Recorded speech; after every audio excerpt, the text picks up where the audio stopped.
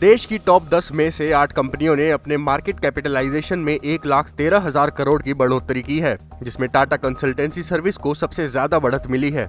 इसके अलावा, Reliance Industries, HDFC bank, ICICI bank, Kotak Mahindra bank, Infosys और SBI भी इस लिस्ट में शामिल हैं।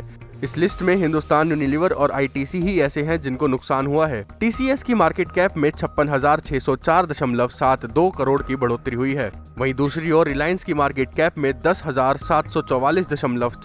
करोड़ की बढ़ोतरी हुई। इस लिस्ट में रिलायंस ने अपनी टॉप पोजीशन बरकरार रखी है।